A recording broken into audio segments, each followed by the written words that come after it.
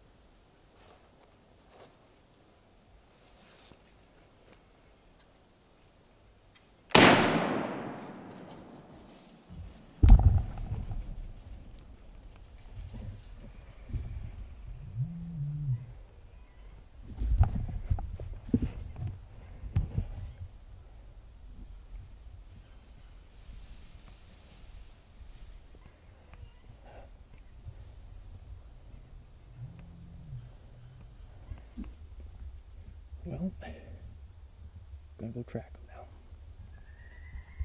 Stay tuned. You're all down here. Platform sticks, pack.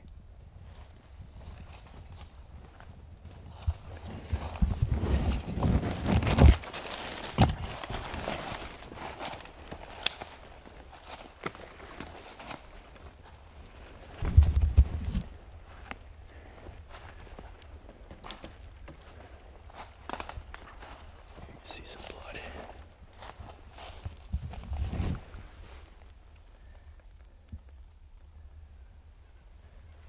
That blood right there.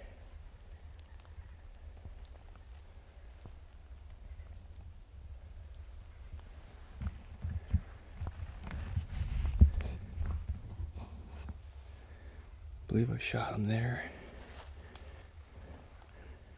I was sitting in that tree. Right up there. See, I mean, it's 10, 15 yard shot any far at all. Blood.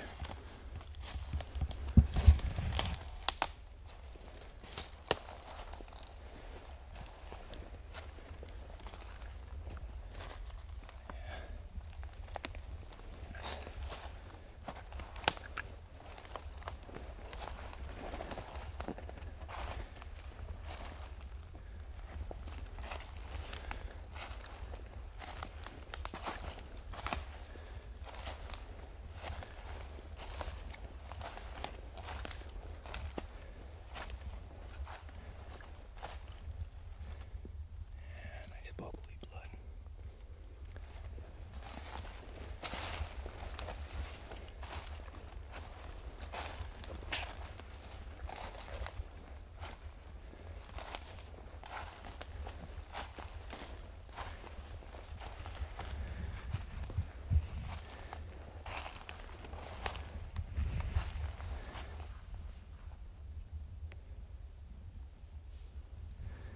There he is. There he is. Let's check him out. He didn't go very far. Didn't go 20.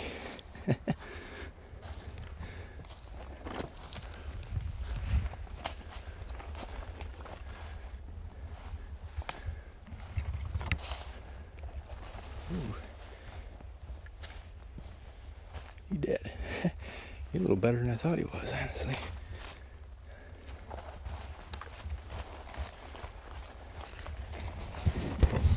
Look at that. Heavy guy. Look at that. He was tearing it up. Just ripping trees. Got some nice big beams here.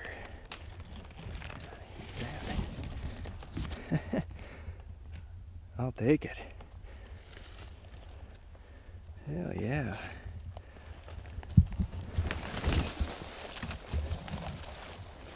Look at that.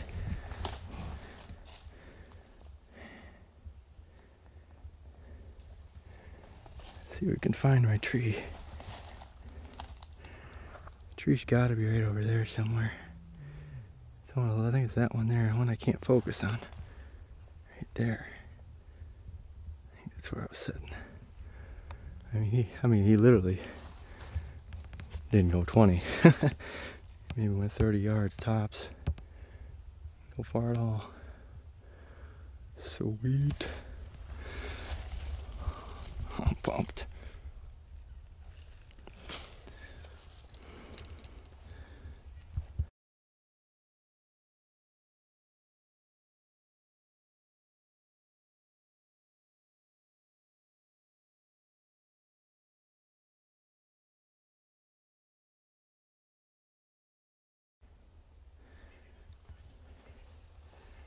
As I was messing around looking for a good spot to take a picture, which I'm gonna do right here, of this buck, I look up.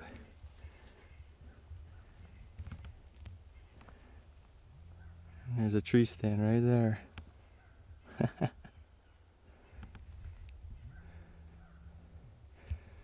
He's maybe 20 yards from his tree stand. I think he's in the wrong spot, honestly, but cool.